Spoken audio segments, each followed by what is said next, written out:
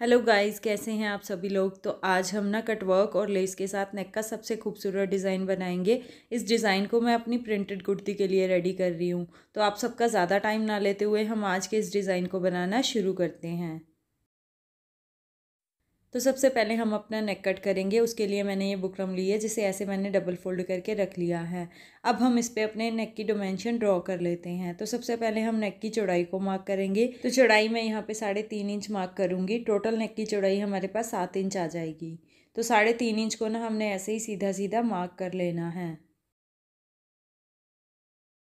तो अब हमें नेक की गहराई को मार्क करना है। तो नेक की गहराई ना ऐसे मैं सीधे में मार्क करूँगी। यहाँ से ना चौदह इंच हम नेक की गहराई को मार्क करेंगे। तो नेक के नीचे ना हमारा थोड़ा लंबा कट भी आएगा और कट से ना ये नेक हमारा सीधा वी की शेप में ही आएगा। तो अभी हम नेक की शेप यहाँ पे ड्रॉ कर लेते हैं। तो यहाँ से ना इसकी चौड़ाई हम एक इंच लेंगे। टोटल यहाँ से कट की जो चौड़ाई है ना वो दो इंच आ जाएगी। तो एक इंच को ना हमने यहाँ पे ऐसे सीधा सीधा मार्क कर लेना है। और यहाँ से ना वी नेक को ऐसे ड्रॉ करना है सीधे में। इस शेप में आएगा हमारा ये नेक तो नेक हमारा ऐसे ड्रॉ हो चुका है। अब हमने बाहर से एक्स्ट्रा बुकरम लेनी है, लगभग पौना पौना इंच तो वो हम ऐसे ही ड्रॉ कर लेंगे। अब हम इसे ना अपनी मार्किंग के साथ साथ कट कर लेते हैं।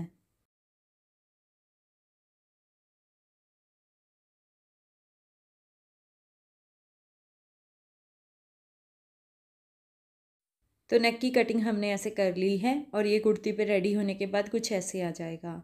अब हमने ना इसे एक्स्ट्रा फैब्रिक के ऊपर पेस्ट कर लेना है। तो नेक को हमने एक्स्ट्रा फैब्रिक के ऊपर पेस्ट कर लिया और इसे साइड से ऐसे फोल्ड भी कर लिया है। अब हमने ना इसे अपनी कुर्ती पे रख के पलट लेना है। तो ये मेरी प्रिंटेड कुर्ती है। कुर्ती को हमने ऐसे सीधा करके रखना है और नेक को ना इसके ऊपर ऐसे उल्टा करके रखना है। बिल्कुल सेंटर में रखेंगे। सबसे पहले सेंटर में एक रफ स्टिच उसके बाद बिल्कुल बुकरम के किनारे किनारे सिलाई।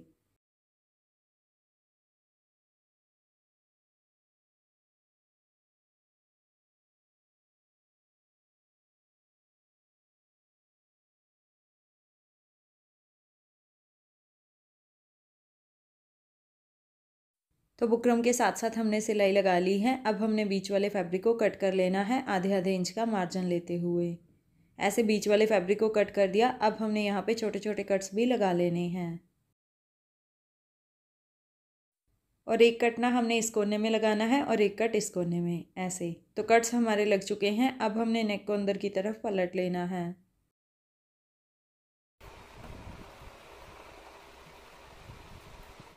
तो नेक को ना हमने ऐसे पलट लिया है और इसे प्रेस कर लिया है अच्छे से। अब हमने ना इसके अंदर अपना कटवर्क वाला पैटर्न स्टिच करना है। तो चलिए वो कट कर लेते हैं। तो नेक के बीच में से हमने ये जो एक्स्ट्रा बुकरम कट की है ना, इसे हमने फेंकना नहीं है। इसी पे हमने अपने कटवर्क वाला पैटर्न ड्रॉ करना है। तो यहाँ से इसकी चौड़ाई एक इंच है ना तो ऊपर की तरफ़ भी हमने एक एक इंच को ना ऐसे ही मार्क कर लेना है। बिल्कुल नीचे वाले के बराबर बराबर। तो अब हमें ना इसी के बीच में अपना कटवर्क ड्रॉ करना है तो उसके लिए ना हम बुकरम का एक छोटा सा पैटर्न कट करेंगे।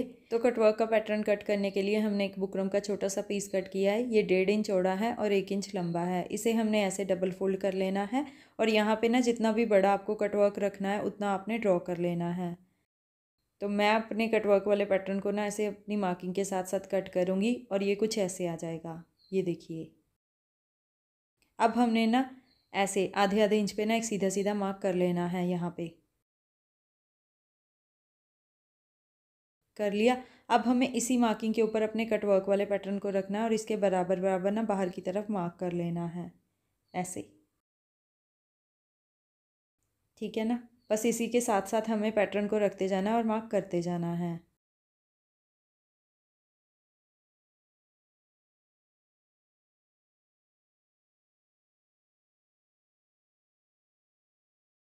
तो सारा कटवर्क हमने ऐसे ड्रॉ कर लिया है, अब हम इसे अपनी मार्किंग के साथ साथ कट कर लेते हैं।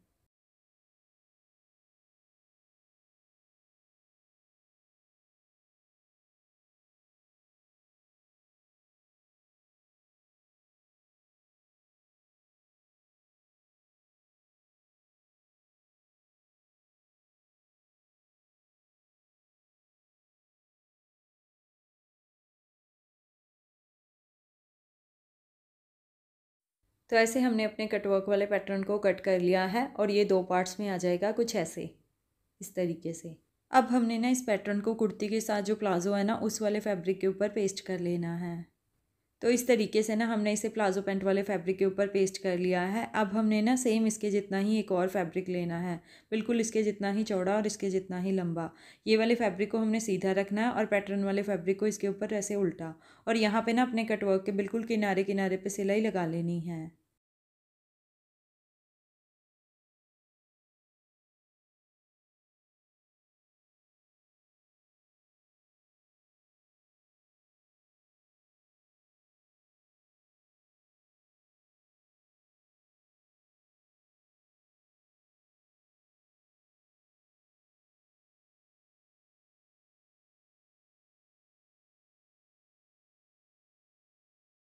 तो ऐसे हमने दोनों कटवर्क के ना किनारे किनारे पे सिलाई लगा ली है। अब हमने ना यहाँ से दो दो पैर का एक्स्ट्रा मार्जिन लेना है और बाकी सारे एक्स्ट्रा फैब्रिक को ट्रिम कर लेना है। इस तरीके से।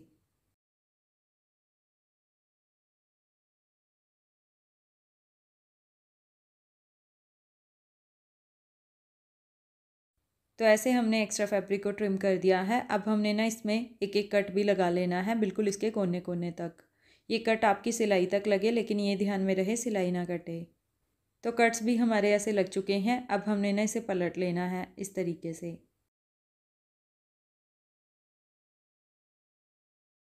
तो ऐसे हमने दोनों साइड के कटवर्क को ना पलट के ऐसे प्रेस के साथ अच्छे से बिठा लेना है। ये देखिए, हमने दोनों कटवर्क को ना प्रेस के साथ ऐसे रेडी कर लिया है। अब हमने ना बाहर वाली साइड से भी आधे आधे इंच का एक्स्ट्रा मार्जिन लेते हुए ना एक्स्ट्रा फैब्रिक को यहाँ से कट कर लेना है, इस तरीके से। तो बाहर से भी हमने एक्स्ट्रा फैब्रिक को ऐसे कट करके ना इसे यहाँ से ना इंटरलॉक कर लिया है ताकि फिनिशिंग अच्छी आए। तो चलिए अब हम इस पर ना एक लेस स्टिच कर लेते हैं। तो लेस भी मैं यहाँ पे ना कटवर्क वाली ही यूज़ कर रही हूँ। ये देखिए, इस तरीके से ना हमने लेस को ऐसे अपने कटवर्क के ऊपर रखना है और यहाँ पे लेस की इस किनारी को दबाते हुए सिलाई लगा लेनी है।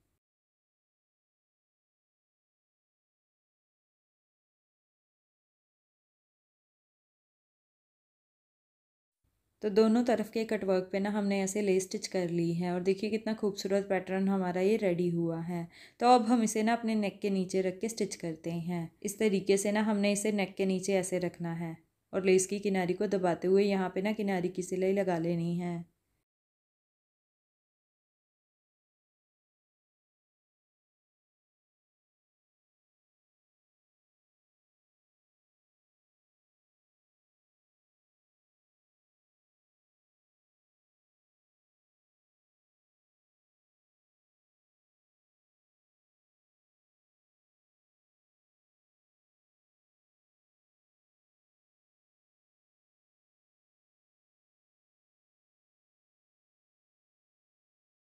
तो गाइज़ ऐसे हमने दोनों तरफ़ कट वर्क वाले पैटर्न को स्टिच कर लिया है। अब हमने ना इस कट को बंद कर लेना है। तो कट को बंद करने के लिए ना हम यहाँ पे सेम कुर्ती वाले फैब्रिक का यूज़ करेंगे और यहाँ से ना मैंने ऊपर से इसे डबल फोल्ड करके ना दोनों तरफ़ इंटरलॉक भी कर लिया है और इसकी चौड़ाई मैंने चार इंच रखी है।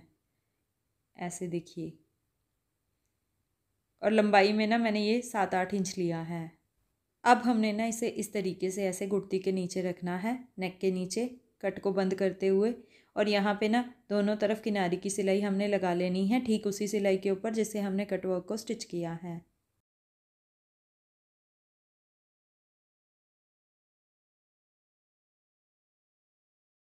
तो गाइज़ नीचे की तरफ़ ना हमने ऐसे कुर्ती वाले सेम फैब्रिक को स्टिच भी कर लिया है और देखिए कितना खूबसूरत नेक डिज़ाइन हमारा ये बन के तैयार हुआ है।